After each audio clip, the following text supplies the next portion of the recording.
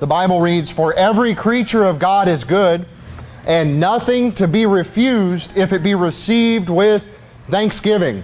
Now, look, Thanksgiving's tomorrow. I, I got to say something, so we're off our regular uh, course of preaching through the Proverbs.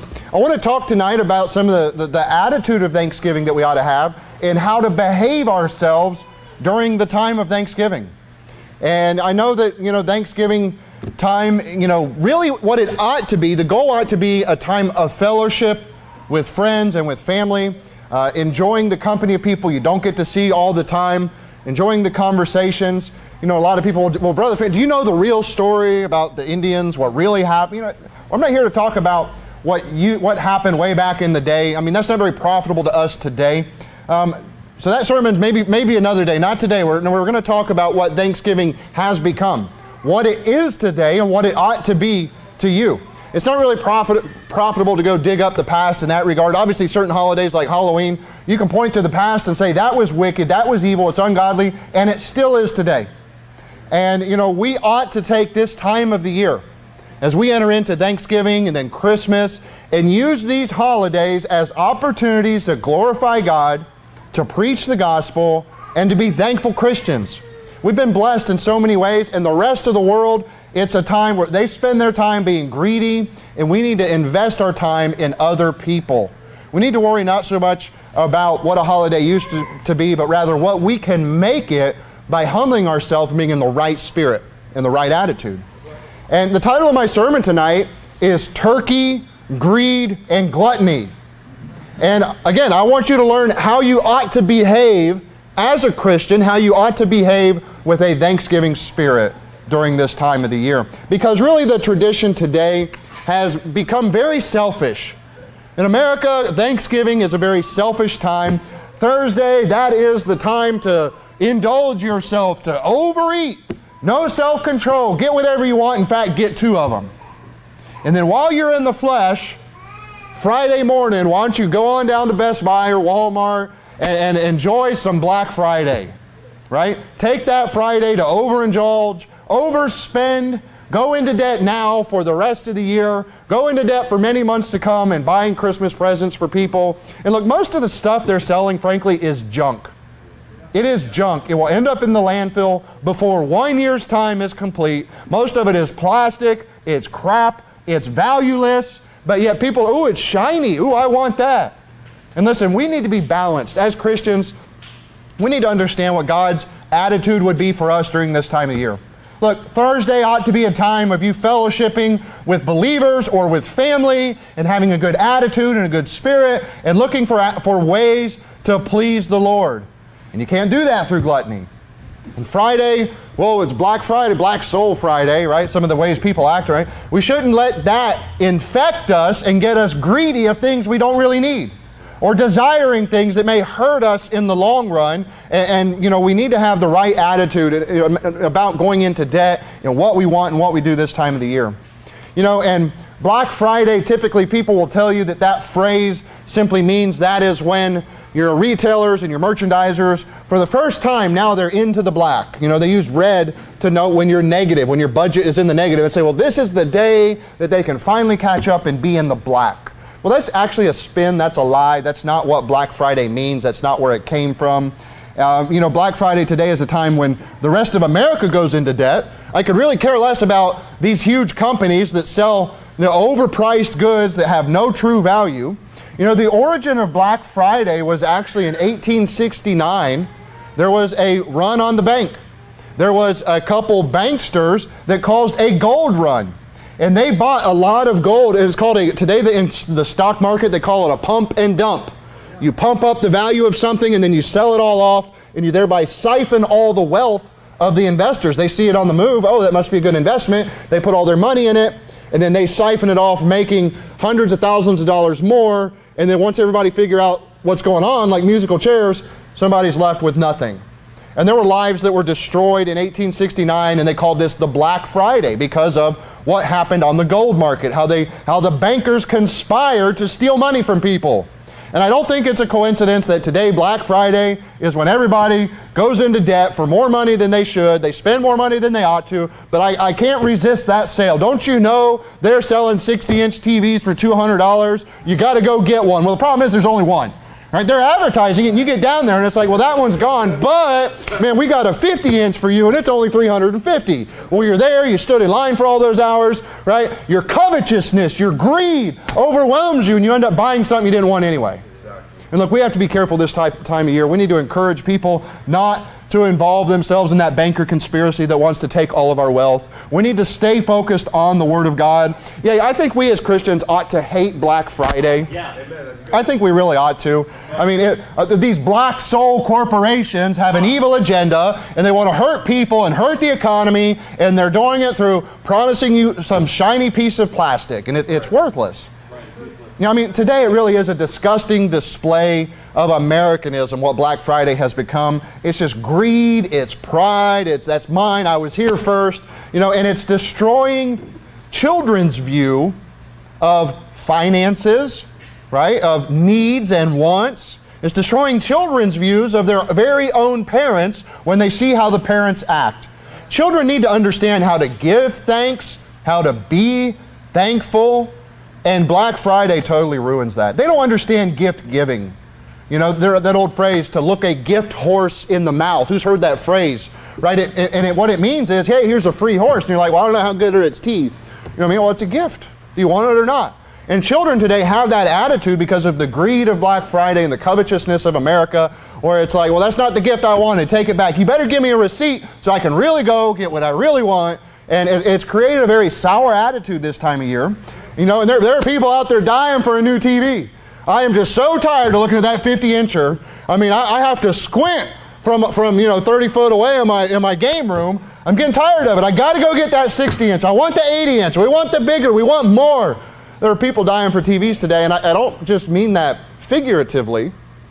There's a website. It's called BlackFridayDeathCount.com. BlackFridayDeathCount.com. And for the past decade plus, they have been measuring the news, and they have links to all these articles in the news, and they have the stats, and they say there have been 10 people killed on Black Fridays because of shopping deals, and 111 people injured. Are you dying for a new TV?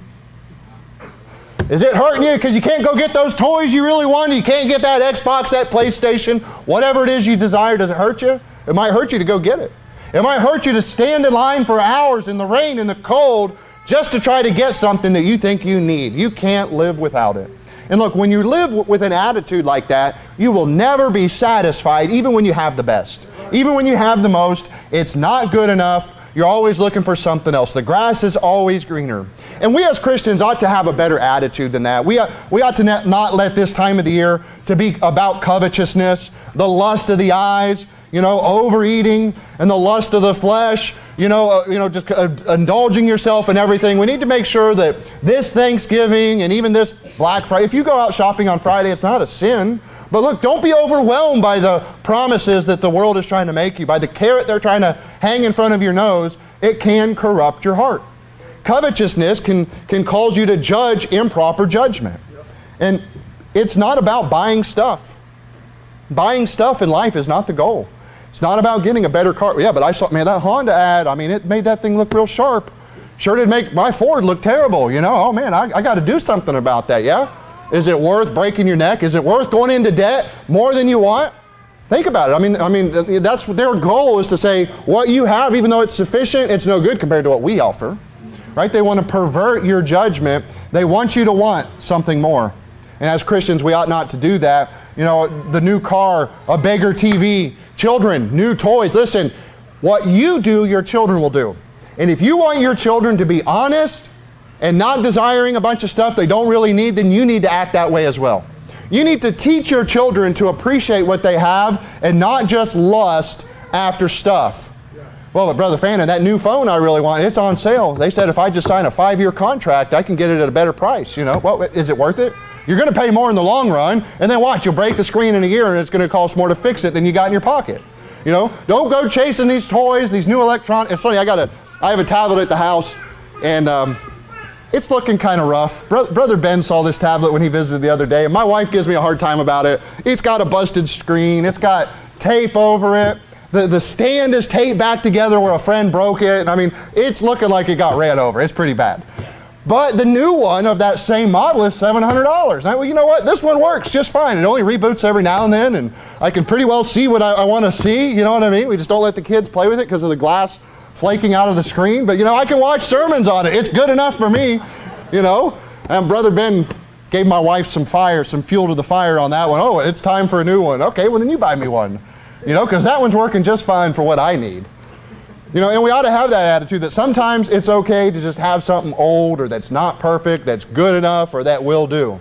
Because covetousness will eat you up. Covetousness will cause you to have a bitter heart and to be greedy for stuff that you don't need, that you don't really want. And look, the, the Christian way ought to be not a desire for everything new. Amen. Like the spirit of this world, it wants you to lust after stuff. Yeah. I mean, I don't care if you're in the Goodwill store or Walmart or Best Buy, you walk down the aisle with a child and they're going to see something they want. They don't even know what it is. Ooh, it's pretty. Uh, come on, don't touch that. Leave it alone, right? Why don't? Why do you want that? I don't know. What's it do? Let's open it. Let's buy it and find out why I want it. Right? That ought to not be our attitude. We, all, you know, that's very dangerous when you give your heart over to just wanting more and wanting more. You know, sometimes you just need to be content with what you have. Right. Things things and stuff in this world can steal your heart from God. They can steal your attention. And again, children will learn by the parent's example. We need to learn by example. That's what will happen in your family, and they're going to watch the way you act. So don't go in debt. You know, it's funny because I, I found something at Goodwill the other day, and I'm like, wow, this is one of the old versions. This is actually made out of real wood. And it's seven bucks. Perfect. That'll be a Christmas present for Naomi. That's perfect clean it up a little bit, put it in a box, she'll love it. And she doesn't know whether it's new or old. To her, it's sufficient. And I looked it up, it was a $100 item that I found for $7. And you think about it, the average child today, don't you, there's this little plastic robot, and if you, if you just start it, it'll pick up blocks and move them, and then pick up more blocks. Wow, this is the toy of the year. How much is that? Oh, $150 because it's a robot, it's artificial intelligence. Do you really need a $150 plastic robot that somebody's going to step on and destroy? Man, go get some Lincoln logs. Go get some old wood toys. You know, get something that has some true value, something that can actually teach something instead of teaching you to watch a robot. You know, hey, there, there's your future. Don't buy into that. In Hebrews 13, 5, he says, Let your conversation be without covetousness, and be content with such things as ye have. Be content with what you have. Be content with what you have. Don't let your conversation be with covetousness. Make sure what you're saying and doing it's clear that you're not just always desiring something else. We expect that out of the world, but as Christians, we need to set the standard. We need to do it different. Especially this year, especially this time of year. Look, we need to learn how to be thankful. In Psalm 100, he says, Enter into his gates with thanksgiving and into his courts with praise. Be thankful unto him and bless his name. Thanksgiving is a time to thank God for what he's done for you, for what you have in your life, for your spouse, the fact that they're healthy and they're alive, that they have their mental competency, for your children that they're happy and healthy, for the grandparents that are still around. For the ability to know how to preach the gospel, you need to be thankful to God and use the gifts He's given you. Be thankful for what you have. Don't start looking for something else out there. There's no joy in the world. You'll never be satisfied. Well, what are you having for Thanksgiving this year? You guys having the big turkey? You having the fancy turkey? What if it's ham? What if you go to Thanksgiving dinner with somebody with the family and it's like, well, I, all I could afford this year was ham? Mom, how could, Dad, why didn't you go into debt? Why didn't you go buy that big fancy turkey? Be content with such things as you have. Thanksgiving is about thanking God for what you do have, because this year I promise you this one thing. There are family members that are going to come together and they're going to get angry over stupid stuff. And they're going to part ways, both thinking they're wrong, and somebody's going to die. And somebody else will be full of regret. And that let it not be said of you as a Christian. You need to have the attitude, hey, you know what? I'll take whatever I get. Well, I mean, hey, I can't afford the turkey this year. Hey, go have some chicken. It's good enough. The tradition ought to be thanking God for what we have in family and in friends and in health, not about the stuff. Not about what we can, let's show off and see how much food we can buy just to let it go to waste. You know, I was at somebody's Thanksgiving dinner one time and I saw one person just kind of berate another, like, why, you've got the fake cranberry stuff. Uh, uh, uh, not at my dinner. table. we always do the right. We got to do. We got to go get the real stuff. You wait right here. We're going down to the store. We're going to buy the cranberries. We're going to make the real sauce. The canned stuff won't work for us. What a sour attitude. Yeah. That's not what it's about. I could care less whether we have cranberry or not. I don't like the stuff that much. I, I really could care less whether we have. Does it matter if you have a turkey or a ham or both, or what if it's just chicken? It's good enough. Do you realize there's people all across America that will be working on Thanksgiving Day? They will not be spending time with their family, and their employer will not feed them. They're not even going to give them a free chicken leg. You need to be thankful for the freedom and the blessings you have in your life and not overlook things. Yes, Look, you're here in 1 Timothy chapter 4. Look at verse number 4. For every creature of God is good, and nothing to be refused, if it be received with thanksgiving. He's saying you can eat whatever you want turkey, ham. Hey, it can be chicken, that's okay. It could be squirrel. I, I only got one amen out of that. Come on, what if it's squirrel? Be thankful you got some food to put in your belly. You know, eat the squirrel. Pray for the food and thank God. Look what he says here. Nothing to be refused if it be received with thanksgiving. That's what Jesus did. When he fed the multitude, he broke the bread, he gave thanks, and then they fed everybody. That's what he did with his disciples before he said, This is the cup of the New Testament. This is my body of the New Testament. He broke the bread, he gave thanks to the Father, and then they ate. That's the same attitude we need to have. Look at the next verse. He says, For it is sanctified by the Word of God and prayer. What is sanctified by the Word of God and prayer? Food. What kind of food? Any kind of animal, more specifically, is what we're getting at here. Well, but Brother Fannin, I mean, if we really want to get back to our Hebrew roots, we won't have ham for Turkey Day. Well, you know, that's not really biblical. I want you to turn to Proverbs chapter 30. Those ordinances were for a time, for a reason, for a picture of things to come, and they have since been overthrown. And 1 Timothy chapter 4 is the best verse you can give to somebody that is in question of that. Every creature of God is good, and nothing to be refused if it be received with thanksgiving and prayer. For it is sanctified, listen, by the word of God. What makes squirrel sanctified? Because in God's word, He said it's okay to eat whatever you want. It's by the word of God and the giving of thanks and prayer. You better pray over that squirrel. If you're having squirrel, boy, you better pray over it, all right? But when he says by the word of God, it says it in First Timothy 4 here. It also says it in Genesis 9 and Acts 10. Those are the key locations you can go to. Before those ordinances were established in Genesis 9, they get off of the ark, and it says, Every moving thing that liveth shall be meat for you. Everything that lives. Well, what about pigs? Yes, they could eat pigs before the Levitical priesthood. That was acceptable in God's eyes. He just said, Don't eat the blood.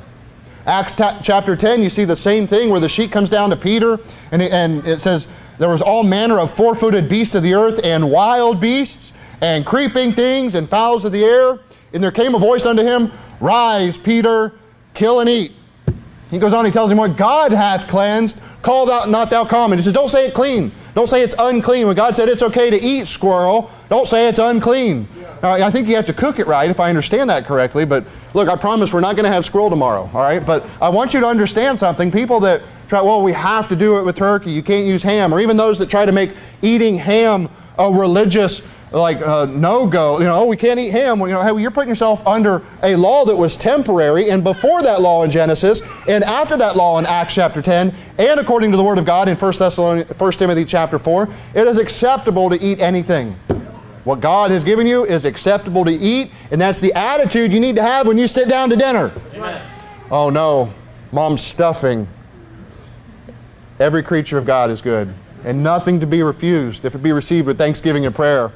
Just get a little and pray over it. Make sure you pray over it, okay? It'll be all right.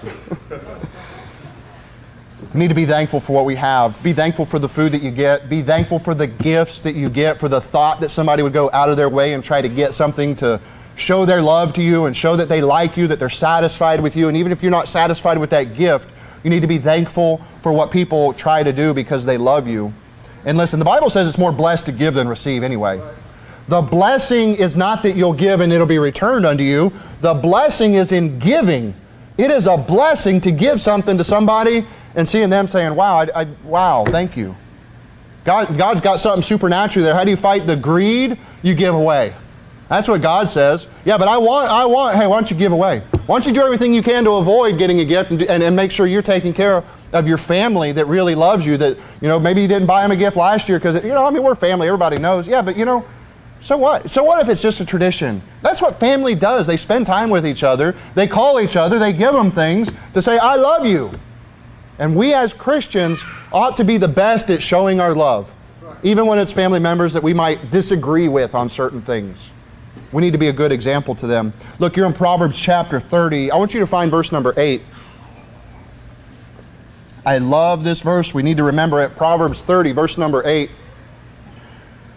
Remove far from me vanity and lies. Give me neither poverty nor riches. Feed me with food convenient for me. This phrase here is so important. Lord, don't give me, please don't give me less. Whatever in your will, I will trust that that's acceptable for me, that's convenient for me, that is sufficient for me. Well, what if you make more than brother so and so? That's up to God. What if you make less than brother so and so? Then I guess I need to be a better steward. I guess I need to be a better giver. I guess I need to get better at using the resources God has given me. I need to be better at walking with the Lord. Listen, listen what he says here. Give neither poverty nor riches Feed me with food convenient for me. Being rich is not a sin. Now, the love of money is a sin, right? Being covetous is sin. Abraham had a lot of wealth. He would have been a millionaire by today's standards. Over 300 trained servants in his own household. That's a pretty big boss. That's a pretty big company. You find me any plumbing, electrical company around here that's got 300 employees, I guarantee they're making millions of dollars a year. I guarantee you. And listen, there's nothing wrong with being a Christian that's a leader that's righteous with the riches that God gives you. That's good stewardship. And we, as the average guy, if you don't own a business today and you're just an hourly employee or a salary employee and you say, Well, I'm, I'm the poor guy. Well, are you being fed with food that's convenient for you? Look at the next verse. He says, Lest I be full and deny thee and say, Who is the Lord? Or lest I be poor and steal and take the name of my God in vain. Look, God doesn't want you to be so poor you have to steal to make it because then you're blaspheming the word. You're making his laws wrong. But notice he says, Lest I be full and deny thee, and say, Who is the Lord? A lot of people, when they get rich enough, you can, you can just hang it up. They're done with God. And we know this from knocking doors in the nicer neighborhoods. Oh, it's a three car garage. If they answer the door, they don't want none. They're good. They're a Methodist. They're Catholic. They're Whiskeypalian, right? They don't want what we have. They don't want the gospel. They're not worried about God. They got God right where they want Him. Sitting in a box, sitting in a shelf, sitting at some idol somewhere, marginalized in their mind, easy for them to deal with because they got all the riches of the world. Why would they need blessings from God? They've got their own blessings. So remember this verse. Whenever you're, I mean, if you're up or down, consider that it's of the Lord. The Lord may be blessing you greatly and giving you more than you've ever had. Be a wise steward. Doesn't mean you have to give it all away to, to please God. Use what you have the right way. If you have nothing and you say, Brother Fan, you just don't know. I am living from paycheck to paycheck, and if I miss one, we're done. Look, feed me with food that's convenient for me. God is saying, okay, I'm trying to learn you to depend on me, not depend on the check. I'm trying to get you to learn to pray to me more and, and live more for me, and then I'll take care of the rest. Seek ye first the kingdom of God and his righteousness, right? Make sure you're making, making your life all about being a Christian life, and then he'll take care of the bills. He'll take care of you getting a promotion. He'll take care of everything. You have to learn to trust the Lord, and he will give you more. And you have to be a good steward of what he gives you. Go to Proverbs chapter 21. You know, a lot of people this time of year, oh yeah, feed me a food. I'm going on a diet. Next year sounds like a good time to go on a diet, right? How come it is every gym on January, boy, it's buster. They are, they are knocking out the numbers. They're getting more people to sign up in January than any other time of the year. Look, in America, we're known for forswearing ourselves and not fulfilling that promise. I, I promise I'm going to go down there. I'm going to do this. I'm going to do it. No, no, no. Don't say any of that. Don't forswear yourself. You know, everybody's ready for diet time. I even heard somebody, I was talking to an old client today in another, in another city, and he's, yeah, you know, I was just talking with my wife, and we said, Friday, that's a good time to start a diet. How about Thursday? Well, brother, how about Wednesday night? Look, we got we got uh, I don't know, we must have 20 or 30 pies back there on the counter in the kitchen. And you know, I'm preaching about not being a glutton and not being greedy. But don't worry, to help you guys out, I, I wrote a, a sermon that will last about an hour and a half, so it'll really test you and get you ready. I'm just kidding. I intend to go short tonight, but I just want to help drive home this point that we need to not give in to the lust of the flesh and the lust of the eyes. It's better for us if we're willing to humble ourselves and say, I don't really need that. Just ask, I mean, do I really? What if I don't have it tomorrow? Would I be okay? What if you don't get that extra piece? Is it going to be okay? Or if I don't get the, I want the leg. I got to have the leg. I get the leg every year. Why don't you give it to somebody else that never gets it? Wouldn't that be better? Yeah, well, Wouldn't that be a better reputation as a Christian, especially this time of the year? God doesn't want you to have to steal or lie, forget Him. You can't afford turkey, eat chicken, it's okay. If you're blessed enough to have chicken, you don't have to have turkey. Now, look, in, you're in Proverbs 21, stay there for a second. So I, I just want to throw in this for a second. You know, credit is very dangerous, but credit is also necessary in a lot of ways in the world that we live in today. Because of how hyperinflation has destroyed our economy and the Federal Reserve banks have caused multiple crashes, and then they give the banks lending power a fractional reserve. Oh, I have a dollar, I'll lend out 11 that don't exist. It's just zeros and ones on the computer. Inflation has devalued our purchasing power. And that's why, oh, we're going to go for a $20 minimum wage. Well, you idiot, that's going to make it a, a $5 menu at McDonald's. They don't under, people don't understand simple economics. And unfortunately, most people do not have the funds for the basic things that they used to have, and therefore credit is very necessary. And as Christians, you know, we, we probably have to interact with credit and use credit, but we would be wise to avoid debt. We would be wise to avoid going into great debt. There are certain purchases that are needed, like cars and houses, that you may have to finance. You know, and but you could all well, but you know, I need a, I need an extra car right now. I'm looking at cars. There's the ten thousand dollar car, but I don't want the note. I'd rather get a two thousand dollar car and not have to go into debt. That would be more wise of me. I'd be a better steward of the resources I have. Because today, you know, I talked to the bank and they're, oh, Mr. Fannin, we will approve you right now and you don't have any payments until January. Oh, okay. And then when it comes calling in January, I need to make sure I can afford the insurance and the car payment and the gas and all the extra expenses of what it would cause. You know, and credit is it's a strange system and you know, they take a gamble on you. They are they are betting that you're not going to pay it. Number 1, the money doesn't exist. They're going to, I'll freely give you a thousand dollars. Me, a thousand dollars? Yeah, but don't worry. If you don't pay us back, we're going to get you at 26.99%. We're going to knock your brains out on, on, on interest right? And that's absorbent. That's ridiculous amounts of interest are being charged by these credits. And, and if you don't have very much credit worthiness, then they're going to give you a very high rate. In other words, they really want to get the money out of you. And we as Christians that are in this world, we would be wise to learn how to use credit better by not going into debt. You know, we had a brother that visited us from another state, and he came down and he preached for us, and I didn't get permission, so I won't use his name. But Brother Jeff said he stayed in this hotel for free because of his points on his credit card. Well, how did he do that? He had free credit. Well, a lot of the credit cards, because they're taking a gamble on you, will turn around and say, I'm going to give you some incentive. I'll give you a reward. If you buy through us, we'll give you some free money. Which nothing's free in this world. It's coming off the back of the other guy, probably. But we'll give you points.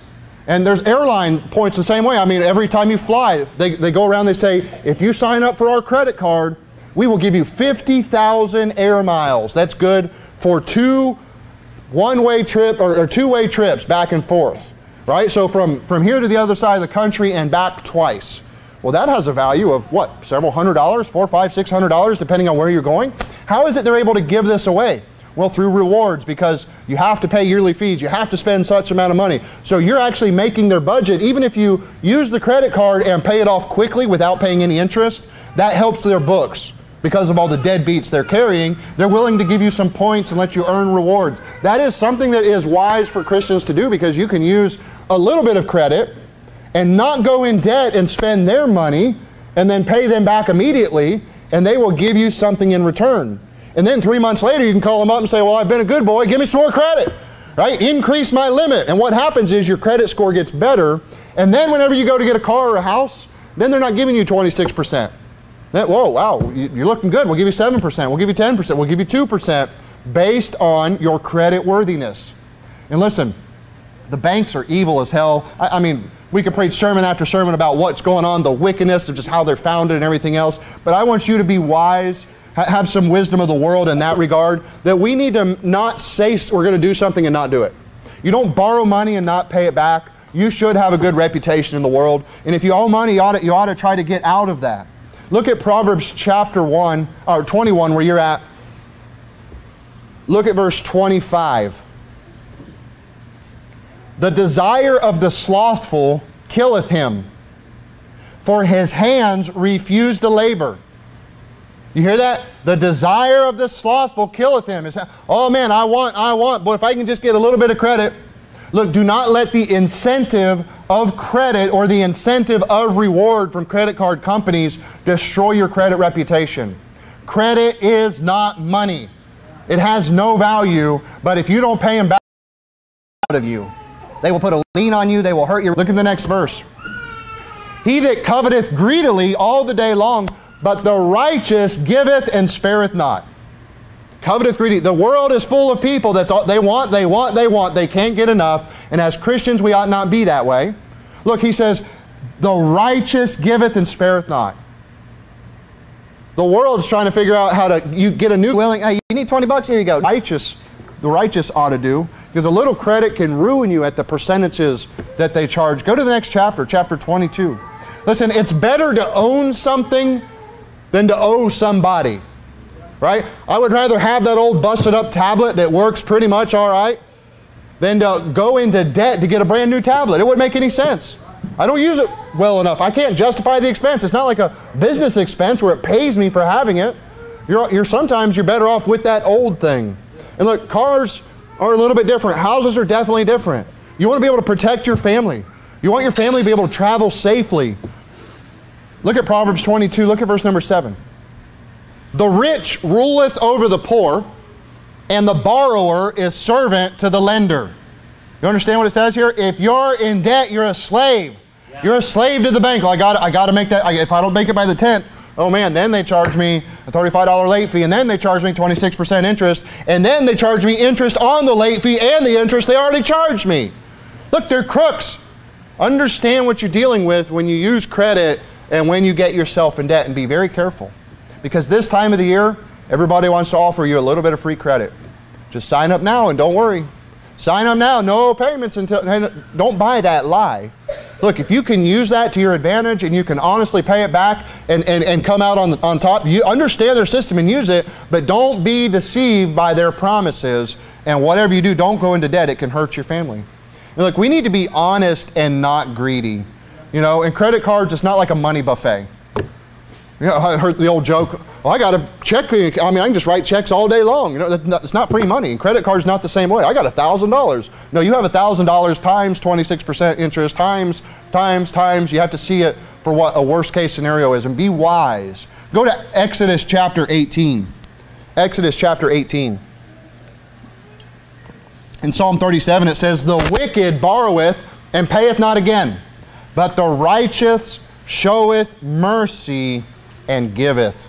We need to be giving. We need to be showing mercy. We don't need to be wicked and say, well, I'll, I'll get this $1,000 credit card now, and I'll say, forget them next year. I just won't pay it off. That's their problem.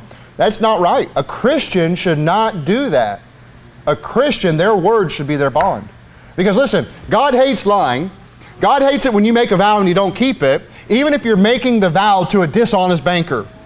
If you go out as a born again, Bible believing Christian and you, you make a lie to a bank, about giving a money you know you're not going to do it, God will judge you for lying.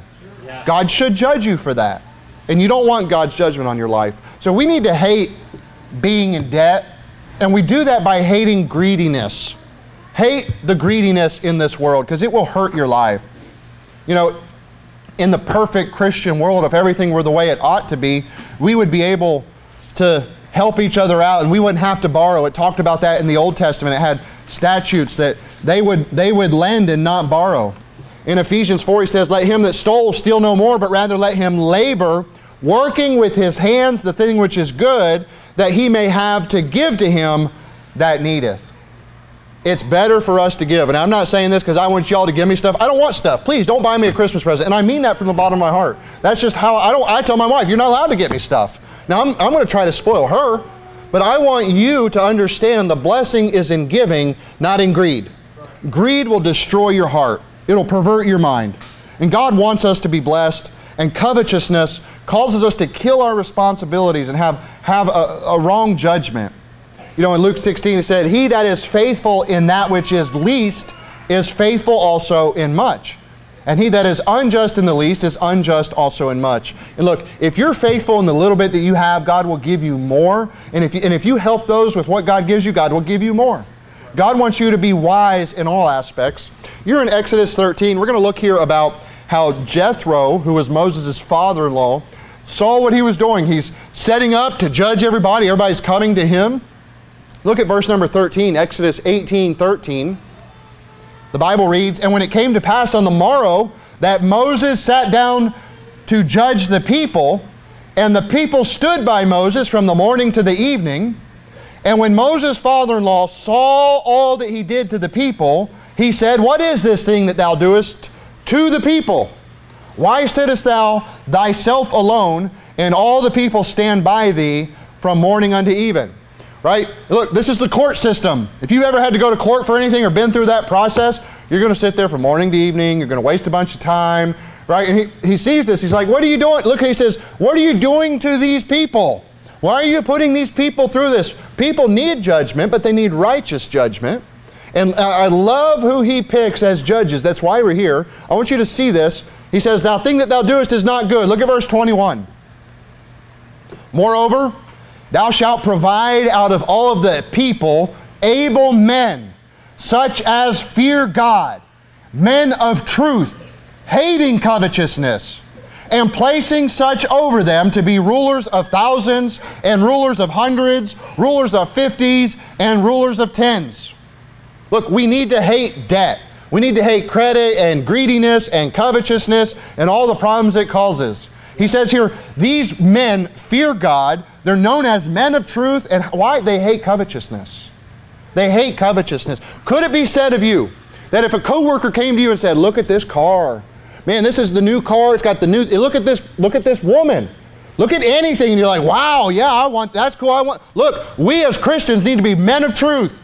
Men of righteousness, we need to hate covetousness. And when the world tries to put something in front of you to cause you to not appreciate what you have, we need to be content with such things as we have. These men were called to judge out an entire nation. God established these men, and through it, the nation thrived. They didn't have to sit around, and wait for judgment. These men were taught the laws and the statutes, and they were known for hating covetousness. As a Christian, this time of year, let it be said of you that you hate covetousness. Amen. Boy, but if you'll just take, if you'll sign up for I don't want to sign up for it.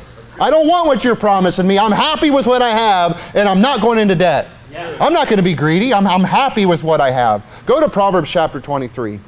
That's the type of judges God wants. That's right. And we as men of truth, that's the type of judges we need to be in our own lives first, so then we can judge the world. So then when that family member comes to you and they say, but look at this, that new car, that new thing, it's got this, it's got that, it's got all the bells and the whistles, you can turn to them with honesty and truth and judge and say, the car you have is doing fine. Right. You're safe. It runs well. It's paid off. It's good enough. Give them some wisdom and say, don't go into debt. God wants us to judge amongst the world, and it starts by not being covetous of everything else the world wants. We have to be in balance. In Mark 4, he, he warned, he said, And these are they which are sown among thorns, such as hear the word. Now, these people are saved, he says, and the cares of the world, and the deceitfulness of riches, and the lust of other things entering in, choke the world and becometh unfruitful. If you want to be an unfruitful Christian, then you can desire other things. You can go after all these other things and go after riches and the cares of the world, and you will be unfruitful. But if you say, I want to be a mighty man of God and I want to look for rewards, not just from a credit card company, but rewards from my Father in heaven, then you need to start hating covetousness. And you need to make sure that the cares of the world, and as he said, the things, the lusts of other things, do not get in the way of you serving God. Because that's how the devil knows how he, he can get you with that. If he can get you more worried about your job and your credit, that you stop serving God, then the devil has succeeded. You're already too busy to open your mouth. you know, many Christians, tomorrow, I'm sorry, Friday, Black Friday, I, I almost thought about going and doing one of those man on the street interviews. Take a camera and a mic and find out who's actually saved. You know, I really ought to just go preaching the gospel. I got a captive audience, right? But I bet you most people don't want to hear it, right? But if you went and interviewed, you find out there are there are people that really are saved that are going to stand in line and Black Friday for six hours till midnight. So it opens up. I got to hurry and eat this turkey so I can run off and stand in line. I want to be the first one. I got to get that big TV. That's all I can think about. There are Christians that will stand in line on Black Friday, that will go in debt on Black Friday. They'll waste their life away, and guess what they can't do? Sit in church for an hour.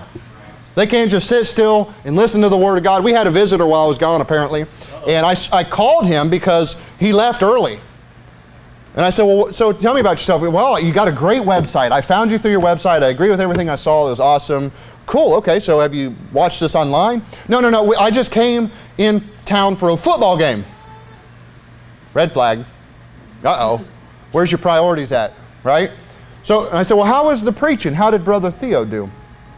Well, I mean, you know, he went a little long. It was a lot longer than I expected.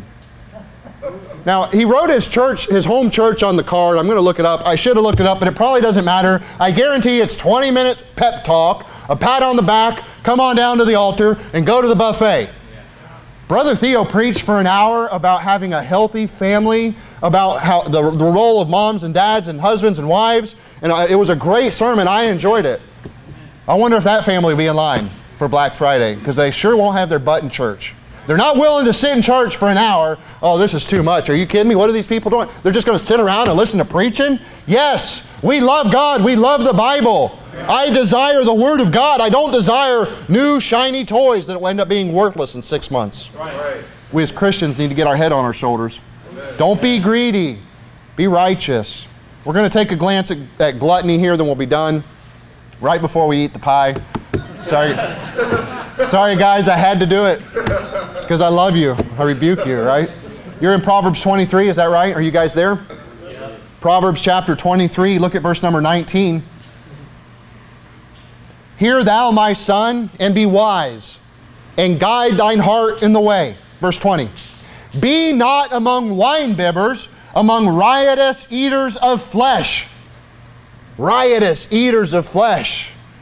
I mean, it sounds like, I mean, whoa! That's what I expect to see at the buffet down here. Look what he says For the drunkard and the glutton shall come to poverty, and drowsiness shall clothe a man with rags. God says a drunkard and a glutton are on the same level. It's somebody that can't control themselves. It's somebody that's used to giving the flesh whatever the flesh wants. The Apostle Paul warned us about that battle, that war in your members. My spirit wants to do the right thing, my flesh wants to do the wrong thing. These people say, forget the spirit. Who's got time for spiritual things? There's food, there's wine. Let's get drunk, let's be a glutton. Look, as Christians, this ought not to be said of us. We need to be very careful. And look, I'm not trying to ruin your Thanksgiving, I'm not trying to ruin your pie fellowship. But I want you to consider that God gives you the power of the Holy Spirit to help you have more self control. And if you'll be faithful in the little things, then you'll have more self control in the bigger things. If you say, Well, Lord, there's that thing I keep stumbling with, I keep failing, Lord, I need some help. And He says, How about your food? When's the last time you fasted? Well, no, I'm not worried about that, Lord. I'm not talking about food, Lord. I'm talking about that other thing. He says, No, I'm talking about this. I'm talking about the little things. Men, let's get the let's get the little things in order, and God will give us bigger things. He'll give us more victories and more power over our mind and our heart. Let's give victory over covetousness in our life. Go to Ecclesiastes chapter 2. Ecclesiastes chapter 2. That comparison of, of, of, of being a drunkard and a glutton, you know, they accused Jesus falsely of that same thing. In Deuteronomy 21, it talked about where their son, he said he was stubborn and rebellious. It said he will not obey our, our voice. He is a glutton and a drunkard. Right? People like to say, oh, that's a child. No, that was a man. That was a young man under the authority of the parents. The parents said, look, this teenager turned out to be rebellious, mouthy, stubborn, a drunkard and a glutton according to God's law, he should put him to death. Now, we don't do that today, but listen, uh, hey, we need to die to the flesh. You understand? You are a spiritual judge. We judge all things in the spirit. Therefore, you and your spiritual man, you need to judge that fleshly man of yours. You need to give the new man some power and give in on the little things. Don't keep giving in to that same thing, and God will give you bigger and bigger victories. You know, the Bible also says to eat for strength and not for drunkenness. You can eat yourself drunk. There's a lot of things you can give into the flesh, and it's the same as not being sober. You're essentially drunk. You're in Ecclesiastes chapter 2. Find verse number 1. Verse number 1, the Bible reads, I said in mine heart, Go to now, I will prove thee with mirth. Right? Mirth means partying, a good time. He's, he's saying to his heart, I'm going to find out what partying's all about. Now understand, he has all the wisdom in the world, and through his wisdom, he says, I want to understand why the fool does what the fool does. So he does what the fool does, and then he says, Well, that was pretty stupid. I get the same result the fool got. Right? What he found out was the flesh is susceptible to all these things. And here at this point, he's saying, All right, heart, let's find out what partying's all about. Let's see what a good time, just chasing after a good time. He says, Therefore, enjoy pleasure. And behold, this also is vanity. Vanity means empty, worthless, hollow. Not, uh, vanity is like, it's not good. It's not, there's no real gain there. It's worthless to you.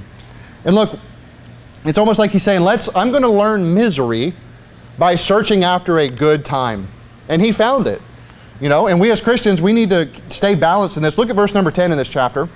Look what we can learn from him here.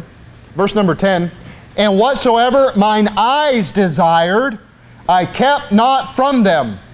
I withheld not my heart from any joy.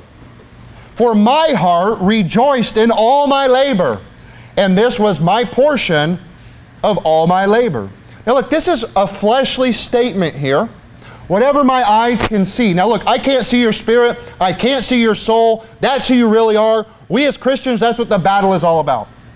Now, King Solomon, as a leader, he failed because he let strange wives into his household and they brought their strange gods. Well, how did they get in? Well, it says right here, whatsoever mine eyes desired, I kept not from them. The lust of the eyes. The Bible warns about the lust of the flesh, the lust of the eyes, the pride of life. And his heart from any joy, I found all the joy that I wanted, but it's not true joy. It's not spiritual joy. It's temporary, it's short term. Look at the next verse. Then I looked on all the works that my hands had wrought, and on the labor that I had labored to do. And behold, all was vanity and vexation of spirit, and there was no profit under the sun. He's saying, What I got in the flesh, I thought was joy in the flesh, was really vexation. It made me miserable. It made me eh, not so joyous anymore, dissatisfied ultimately.